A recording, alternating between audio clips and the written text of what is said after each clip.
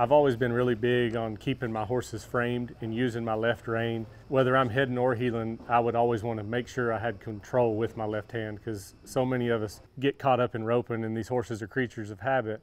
And then they just get to doing things a heel horse wants to cut in, a head horse wants to duck. So I'll spend a lot of time using my bridle, using my feet to make sure I have control.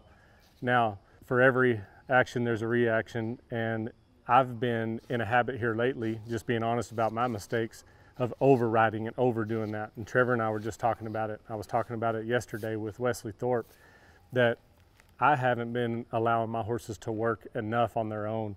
It's really important to have control in the turn so that you can, you know, manage what's going on when the steer's in front of you. If you see see something maybe the horse wouldn't react to early enough, pick up if a steer falls or stumbles or starts to check off. But once you've got that control, you have to let go of their the mouth. You have to push and let go of the bridle.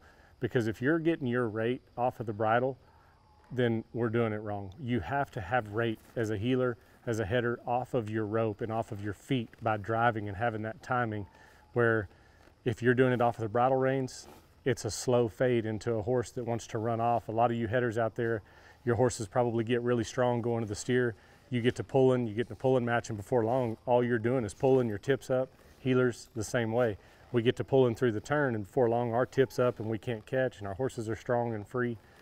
Sometimes it's the exact opposite what we need to be doing. We have to trust them and it may take a few runs or a few practices to get that trust back to where we can drive using our feet, using our rope, and then they'll start to do what they were born and bred to do, which is cow and stay back and, and listen to what we're doing. Use your bridle, use your horsemanship, but at the same time, let your horses do what you've trained them to do. Once the turn starts as a heeler, let trust your horse and let him lock onto the cow so that you're using your feet and that helps with your timing, helps with your loop, header, exact same thing.